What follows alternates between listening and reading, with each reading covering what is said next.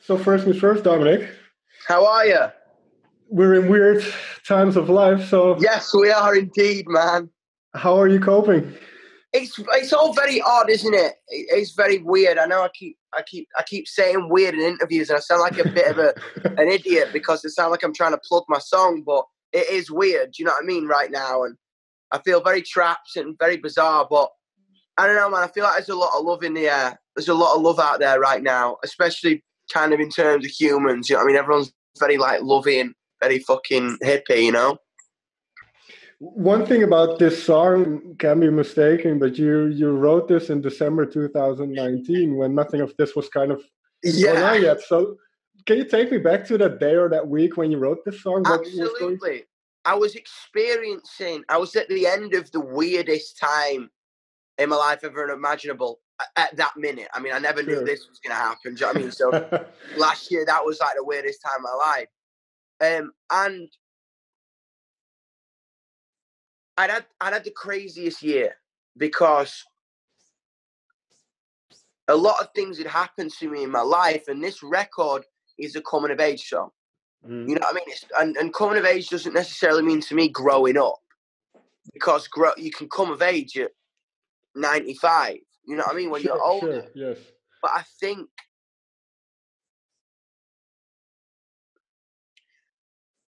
it was a song where I'd experienced. I nearly lost my mum in a car accident. Mm. I we got really successful very quickly. I fell in love. I experienced heartbreak, and then we played a big show in November at Brixton Academy in a big Mm. tour. And this was, and I realized in my head this was everything I ever wanted to do, and and it was almost the dreams were becoming a reality Right. and and I was like, this has just been a dark, bizarre, twisted, beautiful though time of my life. And I've learned a lot about myself, and no, and it kind of led me to realize and write a song about no matter how dark things may get, that you're gonna look back on it and just go, that part, that time of my life was just weird. That was just weird. Right. You know, you know that when you get through it, you'll you'll you'll be a little bit more optimistic about kind of uh, what you've experienced in a sense. The time that's what they say, time heals wounds. So so having a bit of separation. But when you um, wrote that song, because I can imagine you, you especially the second por- uh, part of what you mentioned, you've uh, become successful quite quickly. So were you prepared for that? Was it because the other two things are very personal, and I'm not going to uh, pry in in that sense. But um, the music thing, what was it? Was it difficult to to kind of deal with all of a sudden being in that high of a demand and people wanting things? It was, as I say, as I say, I love my family so much. I call my Mm. fan base my family because I don't, I don't. Fan base is like uh, whatever. Do you know what I mean? Sure. But as I say, to kind of walk down a street and people to know who you are, and to find to suddenly have a man following you with a camera if you're going out for coffee is Mm. such a weird situation. You know, what I mean, obviously, like your, your life does change, and it does kind of become like all, all on camera, and, and you have to kind of de- come to terms with that because all your insecurities that are going to come out naturally are now going to be recorded forever, Mm.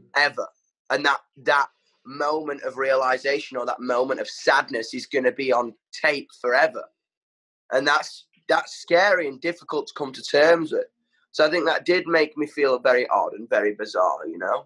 Sure, but l- l- let's go. on I don't know if if if we have to go uh, further back for this, but what I find very interesting then is because you've you've talked about your insecurities. I, I mean, since I've heard of you, you've always been very open uh, with your insecurities. So, what was it like then to have a community? You you call it your family to to accept that and and to Oh, was that a dude, big turning point for you? It was just, it was just everything I ever dreamed of. Do you know what I mean, I could cry. Like I always like pretty emotional when I think about that because I was at a point in my life where right.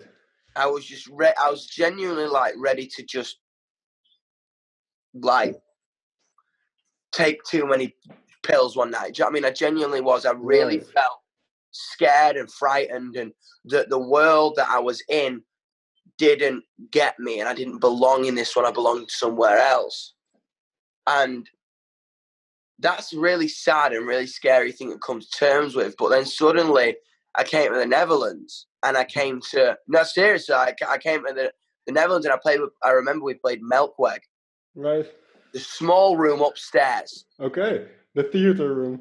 Yes, and 100, 120, 150 people turned up and they knew every word to two songs yeah. I got out. We played a six song set, we played for 20 minutes. Mm. And I went, and I spoke to every single one of them after the show. Okay. And I realized, and, and they were exactly like me. And they got me and they, they listened to me and they heard me. And that was really important and really special to me. Mm.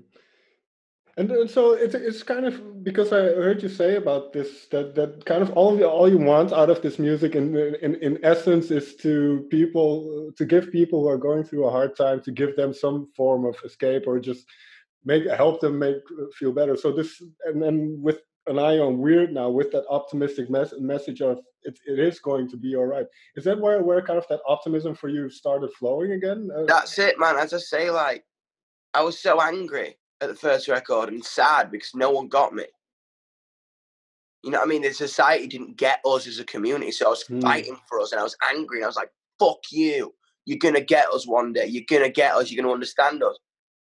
But then, how can I be angry anymore? Because we're growing so quickly, mm. and people are understanding me, and I'm meeting parents who are accepting the kids for for for fucking being gay or being tattooed or being different and I'm meeting people who who are changing schools because they felt like the community could do that. Or I'm meeting people like who whose wives just left them or husbands just left them and they're at the show for this reason and mm. going, we have each other if we fall backwards.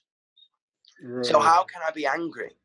All I can be is optimistic and hopeful to grow this community to people who feel like they don't feel like they can be who they are.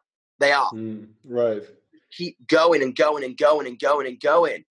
And it kind of made it so interesting because some people like it's interesting what we're going through right now because people still don't get us yet. But mm. that doesn't anger me. That makes me just want to convince them even more. Mm. You know what I mean? Or pity them. Of, of, course, because uh, well, my, my, my opinion uh, opinion on this all is, is kind of progress is unfortunately unfortunately very slow. It's it's not always it is, as quick as, as you want. And that's the be. thing. It's like we are completely out of the box. I think mm. as people and the way we think and the way we dress and the way we look, and we're very kind of loud and naughty and unapologetic. And I don't think society is still very much even though, do you know what I mean? People say it's very open, like there is still the mm. fucking gatekeepers going, calm down, remain calm, remain calm. And it's like, well, we don't want to remain calm. We're ourselves and we're going right. to celebrate it and we're going to go mad and we're going to be happy about that. And everyone's like, oh, what, what, whoa, whoa, whoa, what do you mean? You know what I mean? And, and it's, it's, it's, it's, it's fun. It's fucking fun. Right. And unfortunately, we can't have those gatherings anymore where we can express those feelings uh, because of the virus. And you can, so, so can you tell me, what is your, what is going through your consciousness when you perform live in a way? The, what, what is an evening like that for you, from your perspective? I feel like I, I feel like I discovered electricity. Okay. You know, I mean, all you stand on stage and all this chaos and madness is going on around you, and everyone's just mad and screaming and jumping over each other and hugging each other and smiling and crying, and there's just this massive energy in the room that just smacks you in the face. But you're on stage just taking it all in completely still and going, whoa and it's where I feel for the first time in my life at peace. Mm. I'm kind of in a trance when everyone else, I'm in a trance, like I'm in a daze, I'm in a confusion, and everyone else is just ah, and I'm just like, whoa. It's crazy. It's the most mental thing in the world. That's an interesting thought because uh, I can imagine because that craziness was in essence uh, your life for the last couple of years. I mean, you've been very busy. You've been working on a record, and and then all of a sudden there's this sudden halt, and you know you don't really get to leave the house. And that so is this the moment that you can reflect, and is this the kind of where, where you look back at things? Absolutely, I think I think that's it, man. I think to be honest, like we haven't really stopped I mm. can't stop. If I stop, I'm like a happy shark. If I stop, I die. you know what I mean? Like we we've been just trying to remain as connected as possible, even though we can't play live. Mm. But I think this is a time. I think Mother Earth, if you like, without sounding too hippie, is giving us a slap across the back of the head because as humans, we've been neglecting the planet and neglecting humanity for so long and neglecting mm. loving each other. So it's time to reflect and tell the people you love that you love them, and just to just take a breath and figure out what is next mm. you know? And in this sense obviously i can imagine for you what's next if you want to get home to your family but um... oh yeah i want to get back on tour. Oh fair enough. But when when it comes to the album because uh, can i assume it's done right? Hey? The, the new the album, album yeah the album's done? finished. Because well, weird was I think you wanted to release it earlier, but because it's it's very significant now, it's it's, it's a good time. So so what are your thoughts on the album then? On how you how you're going to proceed say, with that's the album? what this record is about. Weird was a big catalyst into starting the whole process. Mm, Weird okay. went boom, and turned the fucking okay. engine on. Do you know what I mean? And it's like I wanted to write an album about life as a whole, mm. about sexual liberation about identity, eh, eh, liberation in terms of identity, about love, about heartbreak, about drugs, about mental health, about an untrivialized, uncensored, neat whiskey version of what life is. Mm. you know what I mean? because one thing, and I'm a little bit older than you, but do you feel when when kind of when, when you were younger listening to the radio did you do you feel that was lacking in a sense that that people weren't taking younger people yeah man no and... no one's no one was listening and no one made me feel like i have a voice mm. so i want people to feel out there like they have a voice I want to push it out of them if they feel like they haven't got it. I want to push them and prod them and prod them and prod them and prod them and like and they don't understand. I'm like, why are you prodding me? Why are you prodding me? And it's like, why are you silence? And then they finally snap and go, because I've got a fucking voice. Mm-hmm. And then I go, yeah, you do. Final question, and to round off, when you were, like you say earlier, you struggled uh, with depression and those kind of things in your life. What was the thing? And then you mentioned kind of um, that performing music helped you out of it but but what was the thing that even motivated you to either make music or get up on stage because i i can imagine that alone can be a hard thing in those when you think as, I, as I say it was just a thing that happened it was where i slotted into my school people were either in bands or in the football team mm. i wanted to be in a band but then obviously you did take to it because you play, now play a bunch of instruments and you have a yeah, very like, diverse. As I say, I, I just loved it. As soon as I I'll never forget the feeling when I was younger and I heard my uh, my song come out nonsensically in in my in the rehearsal studio with my band. Mm.